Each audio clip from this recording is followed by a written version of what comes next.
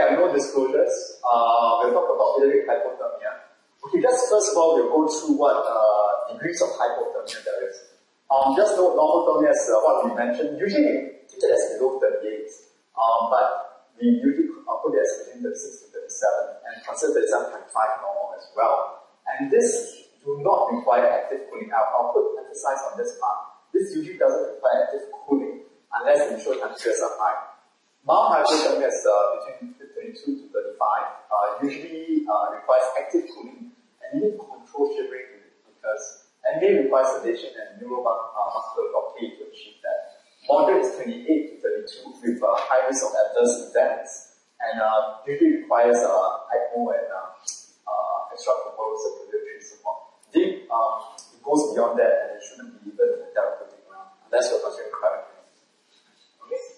uh, okay, the reason why I'm talking about this is based on two core uh, recommendations.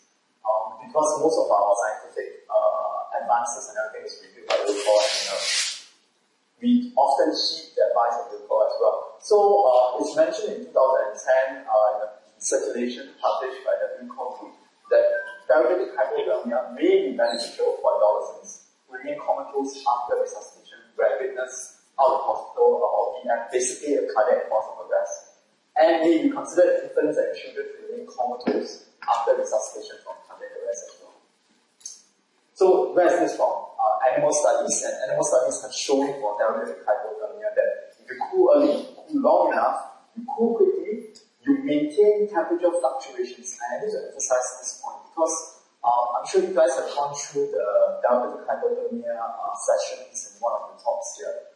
And then basically temperature fluctuations allows the, the ring perfusion hits the ring perfusion works because you vasoconstrict, vasodilate, and increases the, the uh, ring perfusion injury. You need to rewarm slowly, and this goes together with what we mentioned just now about ring perfusion injury. So the most critical part is actually the rewarming phase. It's easy to cool, but you have to be very careful about perfusion. And of course, avoid overshoot hyperthermia. Uh, everything goes to waste if uh, hyperthermia results uh, when you cool too quickly, uh, when you warm so basically, therapeutic hypothermia post cardiac pediatric cardiac arrest. Recommendations were inferred first of all from uh, adults, basically, uh, cardiac arrest. Uh, there are various settings for this: shockable, non-shockable, setting out of hospital, in hospital arrest as well. Newborn uh, from uh, birth asphyxia with HIE. So we'll really talk about this uh, in, in, uh, in, in succession and how is it applicable so are we? First of all, based on the recommendations, are we starting to cool patients? And uh, as, as Colin has mentioned, they are because it's recommended in Australian Resuscitation Council that they should start cooling. Uh, so, uh, and in the UK survey published in the uh, Emergency Medicine Journal, and a survey of most UK uh, pediatric emergency that they actually have at least one method of cooling. Unfortunately, this didn't mention that they can use it or not. Uh, so it's uh, not quite First of all, uh, we'll talk about therapeutic hypothermia in the newborn uh, with regards to new asphyxia and uh, HIE, basically. So based on everything, uh, so what they do is that based on everything that has uh, come about, uh, the evidence for this group, the newborns, is actually quite good. Based on Cochrane reviews that show that uh, the, it improves, uh, it improves, decreases mortality, improves neurological outcome as well, and with include, uh, improvement in survival rates.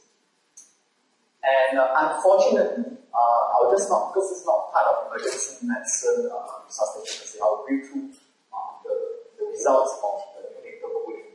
But however, if we do not concentrate on the initial resuscitation, uh, because in IC, uh, ICUs, neonatal ICUs, what they found that even if you institute uh, for HIE or birth asphyxia, the outcome is not as great as those in developed countries. So the take-home message is that concentrate on the basic resuscitation first before you know before we think about. So this is a meta-analysis of uh, effects of cooling on neonatal mortality for in and lower uh, middle income countries. And you can see that the effects are not as fantastic as uh, the developed countries. So the relevance of newborn studies, uh, they found that uh, newborns can safely cool for 72 hours safely. Uh, HIE can be identified within 6 hours with two clinical as biochemical methods hyperthermia is associated with adverse outcomes, and safety and efficacy is noted at 8 months. However, how do you translate this to pediatrics? Um, they are at different stages of brain development. Oxygen requirements are different, and there are different hypoxia tolerance. Their hemoglobin is different from the pediatric age group, actually. So then let's look into, so it works in neonates uh, for HIE. So what about adults, which are the main recommendations for form and infant form?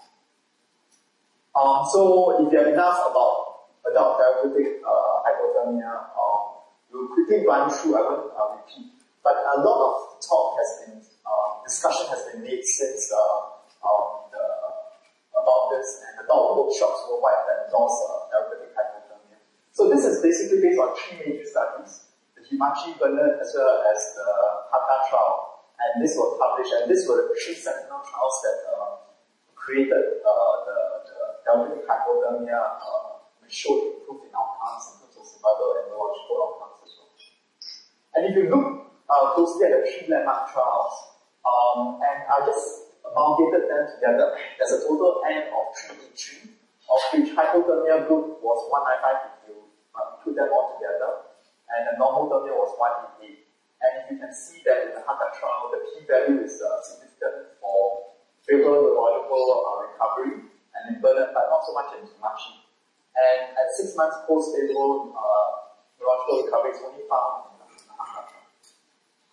and furthermore, there's a substantiating evidence which seems to concur uh, based on retrospective non-randomized controlled trials that seems to show that there seems to be improved outcomes. And these numbers are really based uh, on 1,145 and divided into the VT group and the East group, which seems to show that there's a good outcome.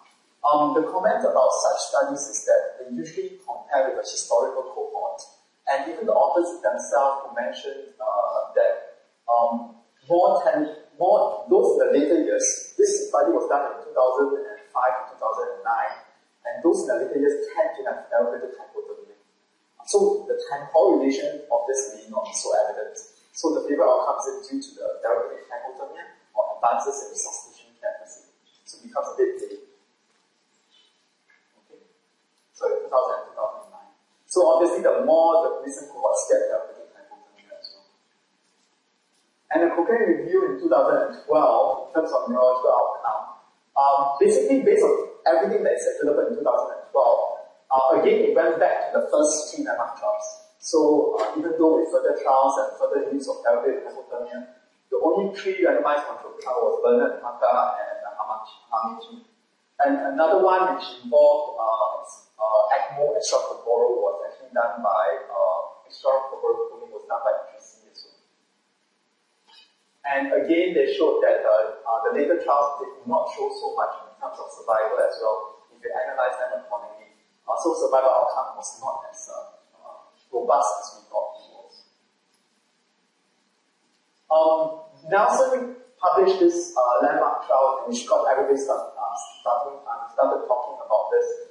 Basically, we did a multi-center controlled trial on targeted temperature control versus therapeutic hypothermia. So one of them tried at uh, to measure post-arrest at 33 and another at 36. And the numbers that you can see is actually much higher than most three trials combined, with a total number of 939. Um, so they actually found no significant difference whether it's 100 at 36 versus 33. So there was no difference in outcome in terms of mortality, and as well as neurological function. And this is a multi-center and uh, this is not quite therapeutic hypothermia. Uh, one of the uh, tendencies is that you can actually start early. Maybe you're starting a bit late. So um, there's another trial by Kim, which seems to state that uh, the pre-hospital cooling can affect, uh, you know, uh, because some, some, in some cases where uh, post-resuscitation care occurs much later due to distance or otherwise. Um, so they tried pre-hospital cooling. And again, uh, whether you cool early or late uh, doesn't make a difference. so there lies um, another question. Does therapeutic hypothermia actually work in the first place? Um, a lot of studies actually have shown that uh, hypothermia occurs not uncommonly uh, post-cardiac arrest. So this is done in studies, uh, and where they showed that induced hypothermia exacerbates neurologic uh, neuronal damage after asphyxial cardiac arrest uh, in rats. Of course, these are rat studies. And uh, but the implications, does it cooling counselors? So I've actually looked through this, and uh, basically, uh, from what I've noted about for pediatric population, uh, in, a, in, a, study by the uh, American Heart Association National Registry for CPR investigators, they found uh, they actually recorded temperature variations post cardiac arrest for children, and they noted that uh, with a number of 547, about 43 actually had one-time temperature above 38. So post cardiac arrest, we tend to get hyperthermia. And 5.5% actually had persistent temperature over 38 post-arrest as well. Okay? And they found that associated with this, persistent hyperthermia in the first 24 hours was associated with unfavorable neurological outcome. So what does this mean? Uh, what is bad, but personally who equals to good? So that lies the question. So if you look at it, uh, have to relook into the recommendations uh, based on the new studies and what animal studies have actually found. Um, what about children? So we're talking about children. So is it applicable in children? Yes, still, we still do not have consensus yet. But there's still not enough evidence for us to recommend therapeutic hypothermia in children. Because what we know now in adults may not be exactly what we thought it was. Um, so we know hypothermia is bad. Normal thermia, we are not too sure. But hypothermia, is it better than normal. So uh, there's no published controlled trials for pediatric cardiac arrest. This is, and the only ones that we could find were two retrospective observational studies for Doherty and Finn, and one prospective observational trial for uh, Bertram. And basically, um, there was no difference in mortality and no improvement in good neurological outcome. Unfortunately, the groups that were entered therapeutic hypothermia versus not the person, the patients receiving therapeutic hypertension was sicker, um, needed more resuscitation, had higher lactate, and, uh, and had higher molecular uh, dysfunction score. So it was a non-comparable group. So I could compare the outcomes uh, when the, the group that underwent therapeutic hypothermia was sicker. So, do we have any evidence? Thankfully, uh, uh, look into the clinical trial registries I've actually found a few trials looking at this specific question. So the DACA trial is actually done by CHOP, and they are looking for prospective RCT for pediatric patients aged with cardiac arrest. I'm looking for equal to 350 for in-hospital and 500 off-hospital. And the intervention is mild hypothermia, 32 to 34 for 48 hours, followed by 3 days of normal thermia. And it's a slow uh, increase in the rewarming state. And the control would be five days of normal thermia. And outcome would be neurological outcomes and 12 months. Uh, another group is also looking uh, at the hypothermia for cardiac arrest phase 2 trial. Um, this one looks at in and both in and out hospital arrest, and then looking at the mild hypothermia for 48 hours. And uh, the control is normal thermia again, and neurological outcomes at 12 months. Again, none of them have actually reported any results as of yet. Another trial, N equals to 40, unfortunately this is a surrogate, uh, it, it, uses uh, biochemical markers as surrogate of brain injury. So they are looking specifically at uh, surrogate markers using plasma markers at MRI. So they are looking at neurological damage as opposed to neurological function. Um, now that we've thought about, uh, is there any other use for therapeutic hypertension? We're not so sure in pediatric now. Uh, we're not so sure in adults actually now. So are there uses uh, for severe traumatic brain injury uh, using therapeutic hypothermia? So uh, a relook into all the studies that have shown that uh, it seems to favor a little bit if you look at the Cochrane results, uh, the, sorry, the systematic analysis of all the RCTs using therapeutic hypothermia for se- severe brain injury in children. But if you actually look at the quality of the trials, um, it didn't make any difference at all. And uh, in this uh, big trial, Putitz, unfortunately, they stopped recruiting after interim results uh, were available. So what they did was um, they actually um, uh, used uh, a randomized controlled RCT on hypothermia versus normothermia in severe brain injury in children. And this was a phase 3 trial. And they stopped after 77 patients because they didn't find any, uh, sorry, they didn't find any difference in the neurological outcomes. And so it was stopped, and then uh, the study was uh, terminated prematurely. So recommendations for therapeutic hypothermia for TBIs in children is actually uh, is uh, non-conclusive and we don't recommend it. It doesn't change the standard of care. Potential uh, applications. Uh, personally, I've seen a few who seem anecdotally get on infection junctional uh, ectopic tachycardia. Uh, there's a suggestion in liver failure in the work. Uh, refractory status epilepticus again, uh, there's a suggestion to fool the neurons, uh, prevents hyperexcitability and prevent neuron damage. And of course, spinal cord injury. But spinal cord injury probably uh, is lower in terms of evidence and pathophysiology as well.